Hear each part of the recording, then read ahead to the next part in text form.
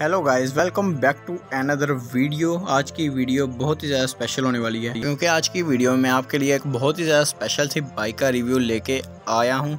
तो आप सबसे पहले वीडियो को लाइक कर दीजिए और चैनल को सब्सक्राइब करके बेल आइकन को ज़रूर से ज़रूर प्रेस कर लीजिए। इससे ये होगा कि हमारे चैनल पे जो भी वीडियो आएगी, उसकी नोटिफिकेशन आपको सबसे पहले बर वक्त आपको मिल जाएगी। सबसे पहले तो मैं आपको बाइक की चारों साइड की लुक दिखा देता हूँ कि बाइक चारों साइड से कैसी लगती है देखने में।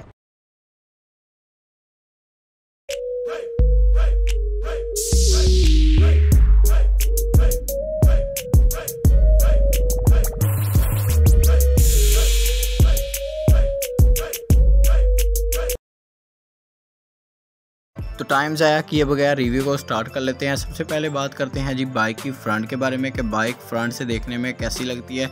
तो बाइक फ्रंट से देखने में बहुत ही ज़्यादा कमाल की लगती है। तो सबसे पहले जी इसके जो मीटर का जो कवर है, उसके अंदर इन्होंने टू कलर की कॉम्बिनेशन किया हुआ है। टू कलर का कॉम्बिनेशन किया हुआ है ब्लैक एंड रेड कलर का और ब्लैक के अंदर सेंटर में हमें होंडा का लोगो, होंडा की ब्रांडिंग हमें देखने को मिल जाती है। तो साथ साथ इसके हमें दो इंडिकेटर देखने को मिल जाते हैं, जो कि प्लास्टिक के हैं, जो कि सेवेंटी के अंदर भी हमें देखने को मिल जाते हैं। तो इसके नीचे बात कर लेते हैं हारन के बारे में। हारन भी इसका काफ़ी ज़्यादा ज़बरदस्त है।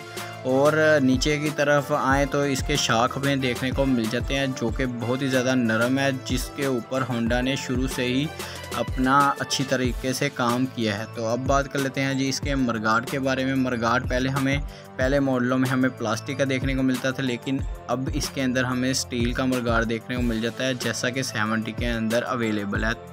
अब बात कर लेते हैं जी बाइक की राइट साइड के बारे में कि राइट साइड पर हमें किस किस चीज़ के ऑप्शन देखने को मिल जाते हैं। तो सबसे पहले इसकी स्टार्टिंग की बात कर लेते हैं कि इसके अंदर हमें किक वाला वर्जन मिलता है, जहाँ यहाँ हमें इसे सेल्फ स्टार्ट वाला ऑप्शन मिलता है। तो इसके अंदर जी किक वाला ही वर्जन शुरू से ही होंडा अपनी कंपनी से इसको मुतारफ़ करवा रहा है। तो अब बात कर लेते हैं जी इसके टैंक के बारे में। टैंक इसका 9.7 लीटर का टैंक है। तो 2 लीटर इसके अंदर रिवर्स पेट्रोल इसके अंदर बच जाता है। अगर आप इसको ज़रा पे लगाएँगे तो इसके टैंकी के कवर टैंकी के स्टिकर के बारे में बात कर लेते हैं। ग्राफिक्स इसकी बहुत ही ज़्यादा कमाल का इन्होंने ग्राफिक्स दी है इस बार। तो उसके ऊपर आपको होंडा का लोगो देखने को मिल जाता है। तो इंजन के बारे में बात कर लेते हैं। इंजन इसका फोर स्टॉक एयर कूल्ड इसका इंजन है।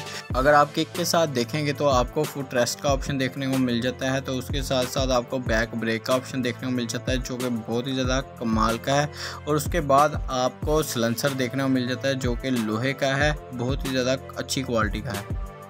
अब बात कर लेते हैं जी बाइक की लेफ़्ट साइड के बारे में कि लेफ़्ट साइड पर हमें किस किस चीज़ के ऑप्शन देखने को मिल जाते हैं। तो लेफ़्ट साइड पर अगर आप इसके शाख के ऊपर देखेंगे तो आपको एक छोटी सी लाइट देखने को मिल जाती है जो कि इंडिकेटर लाइट है और इसके साथ ही साथ हमें इसके गेयर देखने को मिल जाते हैं। इसके चार गेयर हैं और जो कि बहुत ही ज़्यादा कमाल के हैं। ये बिल्कुल सेवेंटी की कॉपी है, लेकिन इसकी थोड़ी सी स्पीड को इंक्रीज़ किया है होंडा वालों ने उसके सेवेंटी के मुकाबले में। तो इसका हमें साथ साथ हमें इसका चैन कवर देखने को मिल जाता है, जिसकी क्वालिटी बहुत ही ज़्यादा अच्छी है। पुराने मॉडलों में अगर आप देखेंगे तो इसका कलर आपको 70 जैसा ही आपको इसका कलर देखने को मिल जाता था ग्रे वाला। तो अब इसके अंदर इन्होंने चेंजिंग किया इसका ब्लैक कलर किया है इन्होंने। अब बात कर लेते हैं जी बाइक की बैक साइड के बारे में कि बैक साइड से सबसे ज़्यादा इंपॉर्टेंट कि बाइक आपको कैसे को देखने की मिल जाती है। तो बैक साइड पर आपको एक लाइट देखने को मिल जाती है। तो अगर लाइट के ऊपर आप कवर देखें प्लास्टिक का तो उसके ऊपर सेंटर में आपको होंडा की ब्रांडिंग आपको देखने को मिल जाती है। तो ब्रांडिंग के ऊपर ही अगर आप देखें तो आपको एक कैरियर देखने को मिल जाता है। तो साथ साथ हमें लेदर की सीट भी आपको देखने को मिल जाती है। तो बैक साइड पर हमें दो इंडिकेटर भी देखने को मिल जाते हैं, जिनकी क्वालिटी बहुत ही ज़्यादा अच्छी है। तो इसके मरगाट के ऊपर आपको एक छोटी सी इंडिकेटर लाइट एक और देखने को एक्स्ट्रा मिल जाती है, जो कि बहुत ही ज़्यादा ज़बरदस्त काम देती है रात को। तो इसका बैक मरगाट आपको प्लास्टिक का देखने को मिल जाता है। तो अब बात करते हैं जी इसके फ्रंट टायर के फ्रेम के बारे में। फ्रंट टायर इसका 2.50 माइनस सेवनटीन है। तो बैक टायर इसका 2.25 माइनस सेवनटीन है। तो बाइक की टॉप स्पीड के बारे में बात कर लेते हैं। बाइक की टॉप स्पीड 100 किलोमीटर पर आर है और तो इसकी डिस्प्ले, डिस्प्लेसमेंट इसकी 72 सीसी है। तो सीसी का मतलब अगर किसी को पता है तो वो कमेंट बॉक्स में ज़रूर बताए। उम्मीद है कि आपको आज की वीडियो पसंद आई होगी। अगर आपको वीडियो अच्छी लगी है तो वीडियो को लाइक कर दीजिएगा और चैनल को सब्सक्राइब कर दीजिएगा। तो नेक्स्ट वीडियो में बात करेंगे जी होंडा सीडी ड्रीम के बारे में कलर्स के बारे में और इसकी प्राइस के बारे में कि कौन सी प्राइस रेंज में ये बाइक आपको पाकिस्तान की मार्केट में देखने को मिल जाती है।